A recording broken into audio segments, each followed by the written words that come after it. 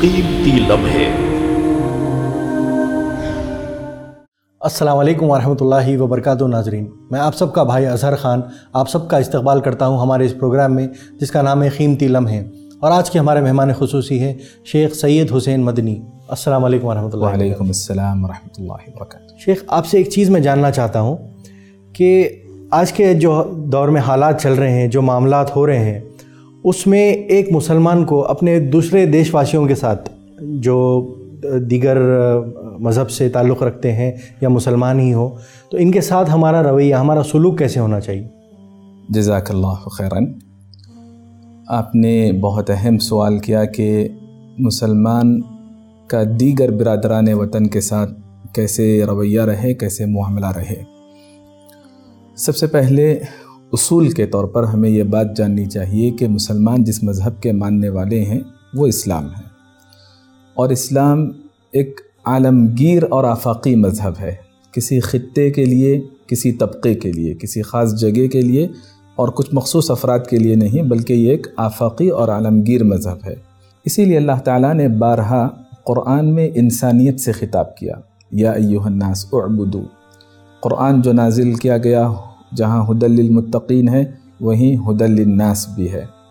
نبی صلی اللہ علیہ وسلم رحمت للعالمین ہے اللہ رب العالمین ہے تو مسلمانوں کو اس انداز سے سوچنا چاہیے کہ وہ جس مذہب کے ماننے والے ہیں، اس کا دائرہ محدود نہیں بلکہ بہت وسیع ہے۔ اس اعتبار سے اگر ہم دیکھیں تو نبی صلی اللہ علیہ وسلم اپنی عملی زندگی میں خلفۂ راشدین، صحابہ کرام غیر مسلموں کے ساتھ، برادران وطن کے ساتھ بہت اچھے تعلقات رکھا کرتے تھے۔ تعلقات رکھا کرتے اور اچھے تعلقات رکھا کرتے۔ معاملات ہو، تجارت ہو، ملازمت ہو ملکی مسائل ہو۔ اور خاص طور پر جب مسلمانوں اور غیر مسلموں کے درمیان کچھ نازک گھڑی چل رہی ہو، جیسے موجودہ دور کے حالات ہیں۔ اس گفتگو کو آگے بڑھانے سے پہلے اور ایک نقطے کی جانب میں توجہ دلاؤں گا۔ ہمارے بہت سارے بھائی ہیں، بلکہ بسا اوقات اہل علم ہیں، جو غیر مسلموں کے لیے غیر قوم کی تعبیر استعمال کرتے ہیں، جو گراں گزرتی ہیں۔ غیر قوم کی تعبیر غیر مسلموں کے لیے یہ مناسب نہیں۔ انبیاء علیہ السلام نے اپنی قوم سے تعبیر کیا، یا قومی۔ جنہیں اسلام کی دعوت دینی ہو، اسلام کی تبلیغ جن کے سامنے کرنی ہو، تو ان کو اپنی قوم سے تعبیر کرنا چاہیے۔ یہیں سے اپنائیت کا سلسلہ شروع ہوگا۔ اب بعد میں تفصیلات آئیں گی کہ دلی محبت کن سے ہونی چاہیے، کن اصولوں کی بنا پر ہونی چاہیے، اور پھر اس کے بالمقابل جو مرحلہ ہے وہ کن کے لیے ہے اور کن اصولوں کی بنا پر ہے۔ یہ بات کے مراحل ہیں۔ ورنہ یہ غیر قوم کی تعبیر سے ہم کو گریز کرنا چاہیے۔ نبی صلی اللہ علیہ وسلم نے چچا ابو طالب کے ساتھ حسن سلوک کیا اور چچا ابو طالب نے نبی صلی اللہ علیہ وسلم کی ہر مشکل گھڑی میں ہمت باندھی، حوصلہ دیا۔ بارہا مشرقین کی جانب سے ظلم اور زیادتیاں ہوا کرتی تھیں، مکاریاں ہوا کرتی تھیں، منصوبے ہوا کرتے تھے، لیکن پہاڑ کی طرح ابو طالب جمے رہے۔ ابو بکر رضی اللہ عنہ اور نبی صلی اللہ علیہ وسلم مکے سے مدینہ ہجرت کر رہے ہیں۔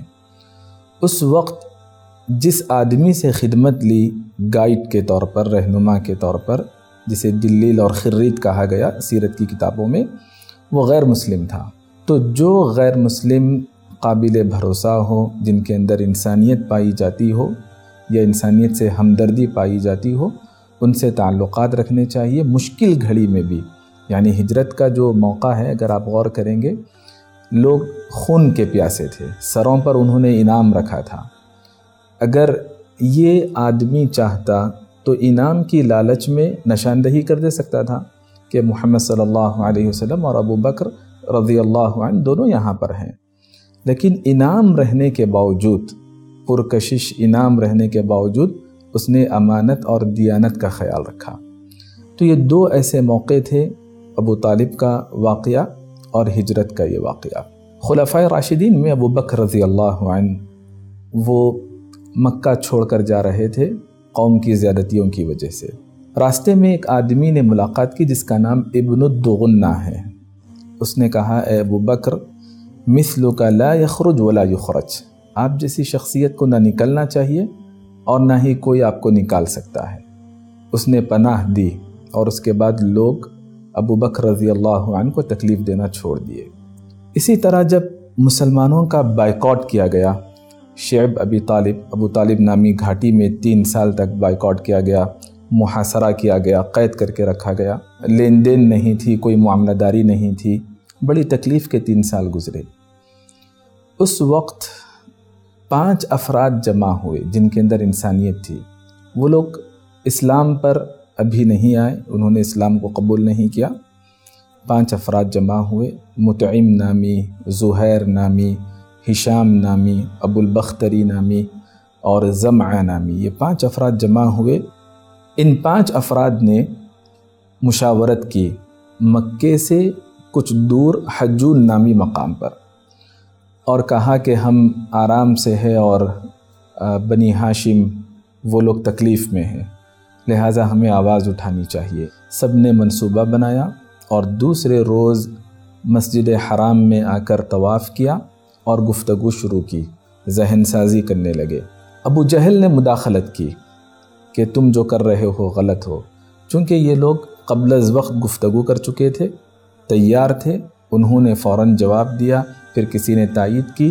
ماحول ایسا بنا کہ جو ظالمانہ اور صفاقانہ صحیفہ تھا، بائیکاٹ کا اسے چاک کرنے میں انہیں مدد ملی۔ لیکن اس سے پہلے اللہ تبارک و تعالیٰ نے دیمک اس صحیفے پر مسلط کی، جس کی وجہ سے لفظ اللہ باقی رہا اور وہ معجزے کے طور پر نبی صلی اللہ علیہ وسلم کے لیے معجزے کے طور پر قبل از وقت برخاست کر دیا گیا۔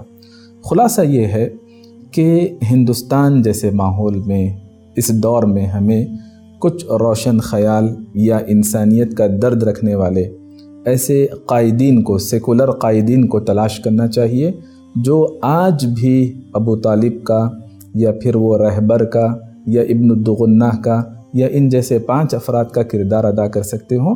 ان کے ساتھ تعاون کرنا چاہیے، ان کے ساتھ تعلقات رکھنے چاہیے اور تعلقات کو مضبوط کرنا چاہیے۔ واللہ عالم تو شیخ، میں آپ سے یہ پوچھنا چاہتا ہوں کہ موجودہ جو حالات چل رہے ہیں، اس میں ایک انسان اپنی اصلاح کیسے کرے اور اپنے معاملات کو کیسے سدھارے؟ جزاک اللہ خیراً مسلمان کو دشوار گزار مراحل میں مشکل گھڑی میں ہر لحاظ سے سوچنا چاہیے کہ اللہ کی مدد کو ہم کیسے حاصل کر سکیں اور حالات کی کیسے بہتری کر سکیں۔ مومن ہونے کے ناطے اس کے لیے سب سے اہم چیز اس کا دین اور اس کا ایمان ہے۔ ایمان کی حفاظت کرنی چاہیے، ایمان کو مضبوط کرنا چاہیے عقائد اور ایمانیات پر محنت کرنی چاہیے، سیکھنا اور سکھانا چاہیے۔ کیونکہ جب باعمل مومن بنیں گے تو اللہ تعالیٰ کا وعدہ ہے، وعد اللہ الذین آمنوا منکم وعملوا الصالحات لیستخلفنہم فی الارض۔ یہ سارے مسائل زمین کے ہیں کہ کون یہاں کا ہے یا کون یہاں رہنے کے قابل نہیں وغیرہ۔ تو اللہ تبارک و تعالیٰ نے وعدہ کیا، وعد اللہ، لا یخلف اللہ وعدہ۔ اور اللہ اپنے وعدے کی کبھی خلافی نہیں کرتا ہے۔ تو اللہ تبارک و تعالیٰ کا وعدہ ہے کہ جب مسلمان باعمل مومن بنیں گے، عقائد و ایمانیات میں مضبوط ہوں گے اور ایمان تعویلات کی آمیزش کے بغیر ہو، ایمان خالص ہو، جیسے صحابہ کا ایمان تھا۔ فعین آمن و بمثل ما آمن جب اس انداز سے مسلمان باعمل مومن بنیں گے تو اللہ نے وعدہ کیا، زمین پر ان کا مقام رہے گا اور ان کے دین کو اللہ تبارک و تعالی لوگوں کے درمیان وزندار بنا دے گا اور ان کے خوف کو امن میں تبدیل کر دے گا۔ ابھی جو خوف و حراس کا ماحول بنا ہوا ہے، وہ امن میں تبدیل ہو جائے گا۔ شرط اس بات کی ہے، آیت کی ابتدا میں اللہ نے یہ بات بتائی کہ ہم باعمل اہل ایمان بنے اور پھر ان تین وعدوں کے بعد فرمایا کہ کیسے باعمل اہل ایمان ہونا چاہیے؟ یعبدوننی لا یشرکون بشیئا کہ وہ میری عبادت کریں گے، اللہ کی توحید پر قائم رہیں گے اور اللہ کے ساتھ کچھ بھی شرک نہیں کریں گے۔ اللہ کے ساتھ کچھ بھی شرک نہ کرنا یعنی مکمل توحید پر قائم رہنا۔ تو جب توحید خالص ہوگی با عمل اہل ایمان بنیں گے، اللہ کا وعدہ ہے کہ اللہ تبارک و تعالی زمین پر وزن رکھ دے گا اور حالات کو بہتر انداز سے تبدیل کر دے گا۔ قرآنی آیات میں ایک نقطہ یہ بھی بتایا گیا، سابقہ قوموں کے پیش نظر، فَأَهْلَكْنَاهُمْ بِذُنُوبِهِمْ، ہم نے انہیں ان کے گناہوں کی وجہ سے ہلاک کر دیا۔ تو گناہوں سے بچنا چاہیے اور گناہوں میں سب سے خطرناک گناہ اللہ کے ساتھ شرک کرنا، اللہ کا کفر کرنا ہے۔ اور گناہوں سے بچتے ہوئے جب ہم اصلاح کریں گے۔ وما كان ربك ليهلك القرى بظلم واهلها مصلحون۔ بستی والے جب تک اصلاحی مہم چلائیں گے، اس وقت تک اللہ تبارک و تعالیٰ انہیں ظلم اور زیادتی کا شکار ہونے نہیں دے گا اور اللہ ہلاک نہیں کرے گا۔ گناہوں کی وجہ سے ہلاکت یقینی ہے۔ اصلاح کی مہم جب چلائی جائے گی تو مختلف عذابوں سے اللہ تبارک و تعالیٰ نجات دے گا۔ اور اصلاح کے حوالے سے یہ بات جاننی چاہیے کہ جب کبھی ہم اصلاح کہتے ہیں تو ہمارے ذہنوں میں یہ بات آتی ہے کہ دوسروں کی اصلاح کرنی چاہیے۔ اوروں کی اصلاح سے پہلے ہمیں اصلاح ذات، اصلاح نفس کی جانب توجہ دینی چاہیے۔ پھر اپنے ماتحت، اہل و عیال، اڑوس پڑوس، رشتہ دار، دوست، احباب، ان سب کی اصلاح کرنی چاہیے۔ پہلے اپنے آپ سے شروعات کرنی چاہیے۔ اور اصلاح جب کہتے ہیں تو دوسری بات یہ ذہن میں آتی ہے کہ معاشرے کی کچھ خامیوں کی اصلاح کی جائے۔ نہیں، بلکہ ایمانیات کی اصلاح ہو، عبادات کی اصلاح ہو، معاملات کی اصلاح ہو، اپنی تہذیب و روایات، عادات، ساری چیزوں کی اصلاح ہو۔ اس جامع انداز سے، اپنے سے جب ہم اصلاح کی مہم شروع کریں گے اور ان ساری چیزوں کی اصلاح کریں گے تو اللہ سے امید ہے کہ اللہ تبارک و تعالی مسلمانوں کو تخت مشق بننے نہیں دے گا ظلم اور زیادتی سے بچا لے گا اور عذابوں سے بچا لے گا۔ واللہ عالم تو شیخ آپ نے ایمان کے تعلق سے تو بتا دیا لیکن اب اپنے اعمال کے تعلق سے کیا کہیں گے آپ؟ کہ کیا ہم کو تبدیلیاں لانی پڑے گی اس میں؟ اور کیا کیا اعمال ہم کو کرنے پڑیں گے تاکہ اللہ سے ہمارا تعلق مضبوط ہو جائے؟ جزاک اللہ خیراً۔ ہر حال میں ہمیں اللہ تبارک و تعالیٰ سے تعلق کو مضبوط رکھنا چاہیے۔ اللہ کو یاد رکھنا چاہیے۔ دور نبوت میں کچھ نصیحتیں کمسن بچوں کے لیے کی جاتی تھی شاید اس دور میں بڑے بڑے رہنما اور علماء کو نصیحتوں کی ضرورت ہے۔ نبی صلی اللہ علیہ وسلم نے ابن عباس رضی اللہ عنہما سے فرمایا، احفظ اللہ یحفظک، تم اللہ کو یاد رکھو۔ اللہ سے تعلق کو مضبوط کرو، اللہ تمہارا نگہبان ہو جائے گا۔ اللہ کو یاد رکھنے کا معنی یہ ہے کہ احکام کو ہم بجا لائیں، فرائض کو بجا لائیں اور منع کردہ چیزوں سے اپنے آپ کو روکے رکھیں۔ اللہ ہمارا محافظ ہو جائے گا اور احفظ اللہ تجد ہو تجاہک، اللہ کی مدد شامل حال رہے گی۔ ہم اللہ کی نصرت کو، مدد کو نازل ہوتے ہوئے دیکھیں گے۔ تو اللہ کے ساتھ تعلق مضبوط ہونا چاہیے۔ اور اللہ کے ساتھ تعلق کی مضبوطی کے لیے ایمانیات کی درستی، ایمانیات کی مضبوطی کے ساتھ ساتھ عبادات کی جانب بھی ہم کو عملی طور پر توجہ دینی چاہیے۔ کیونکہ اللہ تبارک و تعالیٰ نے فرمایا، الذین امکناہم فی الارض اقام الصلاح و آتھو الزکا جنہیں ہم نے زمین پر تمکینت عطا کی یعنی زمین پر جن کا وزن رکھا، وقار رکھا، جن کا اعتبار ہے، شمار ہے وہ لوگ نماز کو قائم کرنے والے ہیں، انہوں نے نماز قائم کی، انہوں نے زکوٰۃ ادا کی۔ و امرو بالمعروف و عن المنکر نیکی کا حکم دیا، بدی سے روکا۔ بظاہر یہ بڑے آسان کام ہیں، لیکن بہت جامع پیغام ہے اس کے اندر۔ عبادات کی جانب۔ نماز کو قائم کرنا اللہ کا حق ہے، حقوق اللہ ہمیں ادا کرنے چاہیے۔ اور زکوٰۃ ادا کرنا بندوں کا حق ہے حقوق العباد ہمیں ادا کرنے چاہیے۔ نماز کو قائم کرنا بدنی عبادت ہے۔ بدنی عبادات ہمیں کرنی چاہیے۔ زکوٰۃ ادا کرنا مالی عبادت ہے۔ تو مالی عبادات بھی ہمیں ادا کرنی چاہیے۔ تو یہ دو الفاظ نماز کو قائم کرنا، زکوٰۃ کو ادا کرنا، حقوق اللہ، حقوق العباد، بدنی اور مالی عبادات سب کو جامع انداز سے پیش کرتی ہیں، یہ دو عبادتیں۔ اور پھر اختتام پر فرمایا کہ نیکی کا حکم دیں۔ نیکی توحید و سنت کی شکل میں ہو، ایمانیات کی شکل میں ہو، عبادات کی شکل میں ہو، جو بھی نیکی ہیں، اس کا حکم دیا جائے گا اور بدی سے روکا جائے گا۔ یہ کام انجام دینے والے اللہ دینہ امکن ہوں اللہ تبارک و تعالیٰ ضرور زمین پر وزن عطا کرے گا۔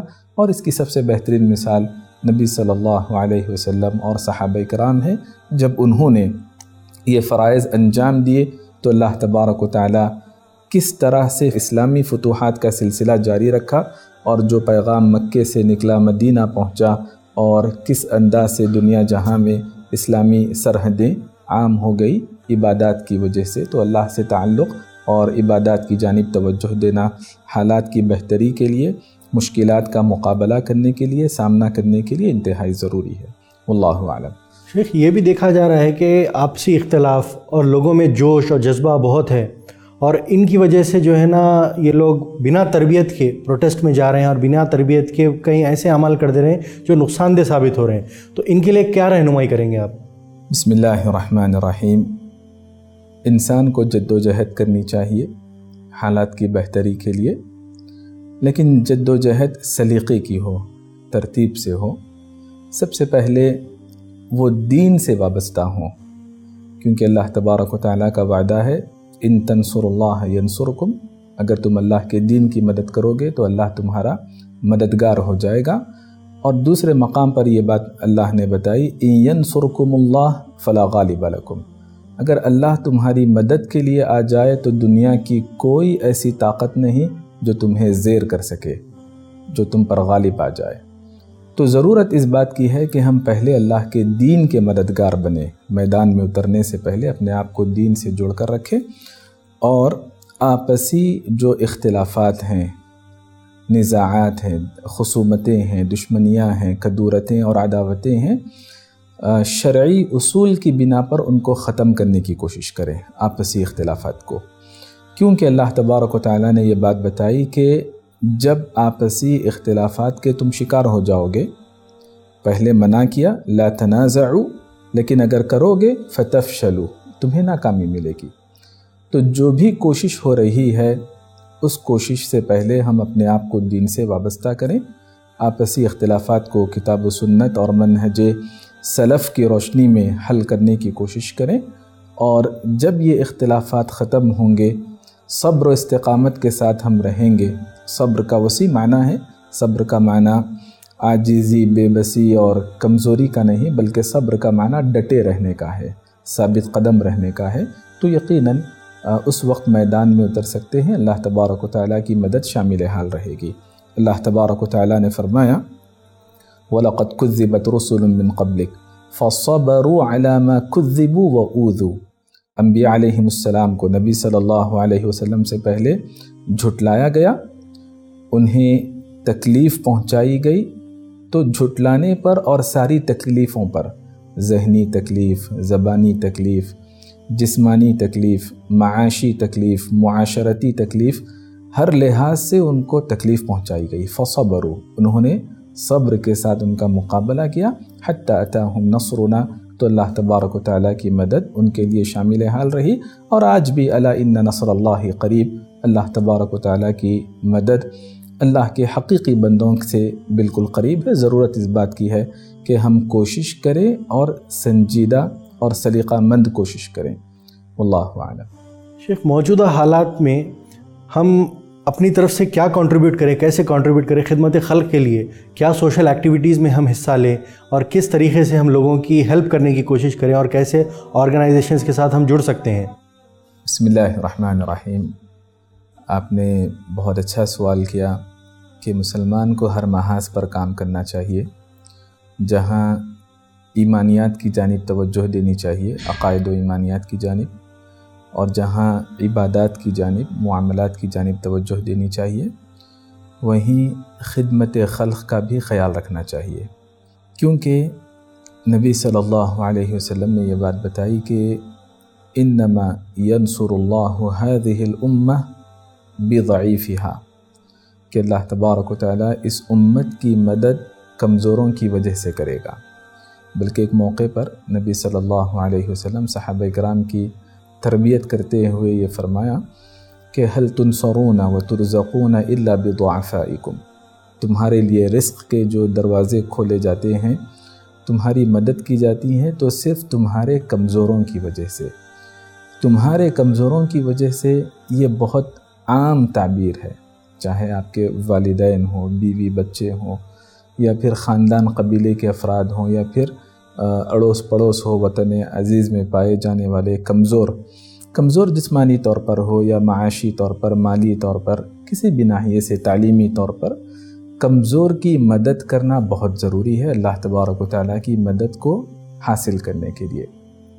ایک دفعہ رسول اللہ صلی اللہ علیہ وسلم فکر مند تھے، پریشان تھے۔